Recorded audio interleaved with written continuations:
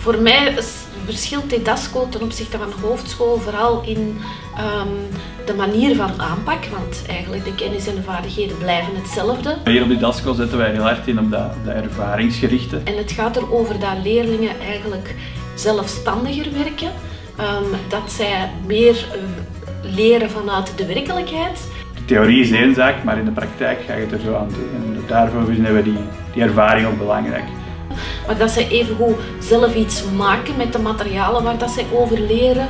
De, ja, de samenwerking, de groepsdynamiek die hier uh, snel ontstaat. Hè. Dus inderdaad, het is op een klein, kleinschalige, dus er zijn niet zoveel klassen.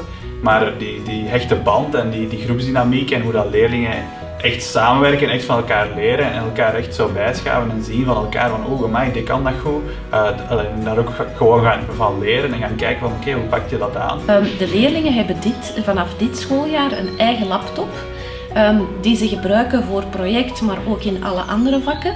En zij leren daarmee alle ja, goede gangbare programma's, maar toch ook op een creatieve manier met ICT-toepassingen en met media om te gaan. Dat is voor mij de meerwaarde van Didasco, ook dat het uh, echt levensecht leren is en dat ze echt de dingen gaan ervaren zoals ze zijn en dat ook meenemen naar, naar de keuzes die ze maken in hun leven, ook, hè, ook naar um, de studiekeuze die ze later gaan maken, van oké, okay, waar ligt nu echt mijn interesse?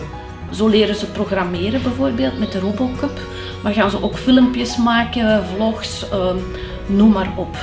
Als je die, hoe hard dat die gegroeid zijn, dan, dan, dan kun je alleen maar trots zijn als, als leerkracht, denk ik.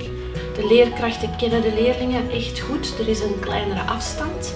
Um, en de leerlingen kennen elkaar ook heel goed. Hè. Ze maken er dikwijls echt wel vrienden voor het leven. Didasco is voor mij vooral dat de, de, de theorie niet alleen een theorie is, maar dat die ook echt wordt ondervonden en toegepast in de, in de praktijk. Dat is voor mij de kern van uh, Didasco. In Didasco gebruiken we ICT vooral om het leren te ondersteunen, maar ook om de creativiteit verder te ontwikkelen.